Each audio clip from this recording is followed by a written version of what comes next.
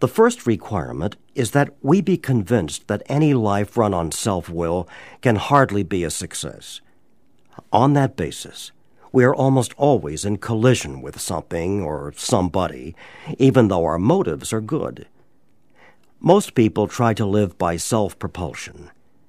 Each person is like an actor who wants to run the whole show, is forever trying to arrange the lights, the ballet, the scenery, and the rest of the players in his own way. If his arrangements would only stay put, if only people would do as he wished, the show would be great. Everybody, including himself, would be pleased. Life would be wonderful. In trying to make these arrangements, our actor may sometimes be quite virtuous. He may be kind, considerate, patient, generous, even modest and self sacrificing. On the other hand, he may be mean, egotistical, selfish, and dishonest. But as with most humans, he is more likely to have varied traits.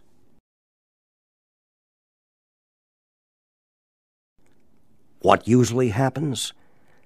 The show doesn't come off very well. He begins to think life doesn't treat him right. He decides to exert himself more. He becomes, on the next occasion, still more demanding or gracious, as the case may be. Still, the play does not suit him. Admitting he may be somewhat at fault, he is sure that other people are more to blame. He becomes angry, indignant, self pitying. What is his basic trouble? Is he not really a self seeker, even when trying to be kind? Is he not a victim of the delusion that he can wrest satisfaction and happiness out of this world if he only manages well? Is it not evident to all the rest of the players that these are the things he wants? And do not his actions make each of them wish to retaliate, snatching all they can get out of the show? Is he not, even in his best moments, a producer of confusion rather than harmony.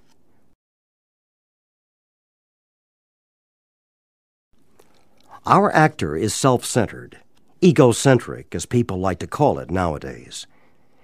He is like the retired businessman who lolls in the Florida sunshine in the winter, complaining of the sad state of the nation.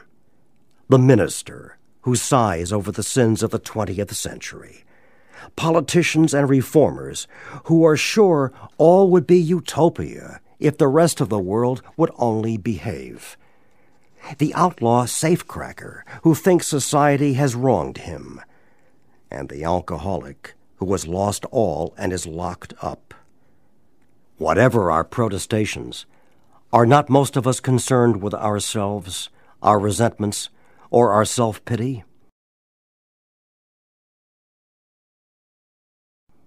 Selfishness, self centeredness.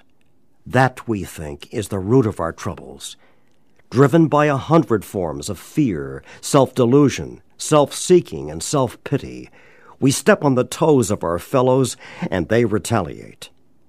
Sometimes they hurt us, seemingly without provocation.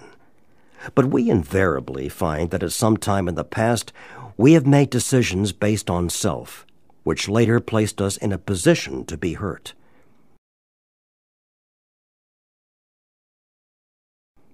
So, our troubles, we think, are basically of our own making. They arise out of ourselves, and the alcoholic is an extreme example of self will run riot, though he usually doesn't think so.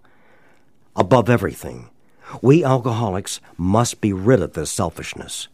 We must or it kills us. God makes that possible. And there often seems no way of entirely getting rid of self without His aid.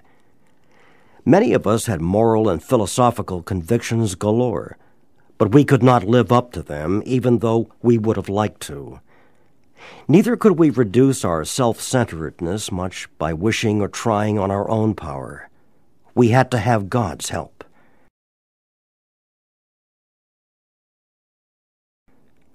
This is the how and why of it. First of all, we had to quit playing God. It didn't work. Next, we decided that hereafter in this drama of life, God was going to be our director. He is the principal. We are his agents. He is the father, and we are his children. Most good ideas are simple, and this concept was the keystone of the new and triumphant arch through which we pass to freedom.